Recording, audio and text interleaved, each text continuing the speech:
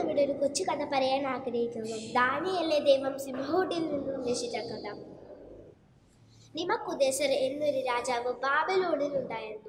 അയാൾ ജെറുസലേം ദേവാലയം തകർത്തിട്ട് അവിടെയുള്ള യഹൂദരെയും വിലപ്പെട്ട സാധനങ്ങളും മോഷിച്ച് തന്റെ രാജ്യത്തേക്ക് കൊണ്ടുപോയി. ഒരു ദിവസം രാജാവ് തന്റെ ഭരണാധികാരികളോട് പറഞ്ഞു ത- തടവുകാരിൽ നാല് ശക്തരായവരെ തിരഞ്ഞെടുക്കുകയും അവരെ കൊട്ടാരത്തിലെ ജോലികളും മറ്റു ആവശ്യങ്ങൾക്കുമായി തിരഞ്ഞെടുക്കുകയും അങ്ങനെ നാല് പേരെ തിരഞ്ഞെടുത്തു. അതിലൊരാൾ ദാനിയേലായിരുന്നു. രാജാവ് ഇങ്ങനെ പറഞ്ഞു നിങ്ങൾ നല്ല ഭക്ഷണങ്ങളൊക്കെ കഴിച്ച് ആരോഗ്യവുമാരായിരിക്കും. ദാനിയൽ പറഞ്ഞു പക്ഷേ ഞങ്ങളുടെ ദൈവത്തെ ആവശ്യ ആവശ്യപ്പെടുന്ന ഭക്ഷണം ഞങ്ങളുടെ ദൈവത്തിനെ ആരാധിക്കുവാനും അങ്ങ് അനുവദിക്കണം. രാജാവ് അത് അനുവദിച്ചു.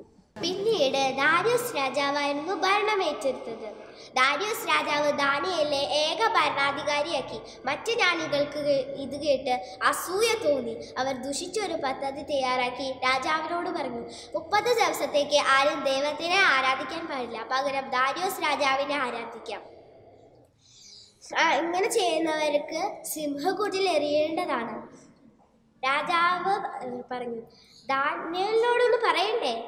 വേണ്ട വേണ്ട ഞങ്ങൾ പറഞ്ഞുകൊള്ളാം ദാനിയൽ ഇത് കേട്ടെങ്കിലും ദിവസം മൂന്ന് നേരം ദൈവത്തോട് പ്രാർത്ഥിക്കുമായിരുന്നു. മറ്റു രാജുകൾ ഇത് കണ്ടു. രാജാവിനോട് പറഞ്ഞു രാജാവേ അങ്ങേ ദാനിയൽ ആരാധിക്കുന്നില്ല. പകരം അവന്റെ ദൈവത്തിനെയാണ് ആരാധിക്കുന്നത്.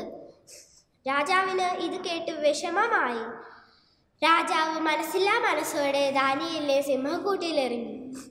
പോകുന്നതിന് മുൻപ് ഇങ്ങനെ പറഞ്ഞു നിന്റെ ദൈവത്തോട് നീ ആരാധിക്കുന്നതുകൊണ്ട് നിന്റെ ദൈവം നിന്നെ രക്ഷിക്കും. അങ്ങനെ പറഞ്ഞുകൊണ്ട് പോയി. പിറ്റേന്ന് രാവിലെ വന്നപ്പോൾ രാജ ദാനിയിൽ സിംഹക്കൂട്ടങ്ങളുടെ കൂടെ കളിച്ചുകൊണ്ടിരിക്കുന്നത് അതൊരു അത്ഭുതമായിരുന്നു. രാജാ രാജാവ് പുതിയൊരു കൽപ്പന പുറപ്പെടുവിച്ചു. ഇന്നു മുതൽ എല്ലാവരും ദാനിയലിന്റെ ദൈവത്തിനെ ആരാധിക്കണം. ദാനിയലിന്റെ ദൈവമല്ലാതെ ഒരു ദൈവവുമില്ല. ദാനിയലിന്റെ ദൈവമാണ് ഏക ദൈവം. എല്ലാവർക്കും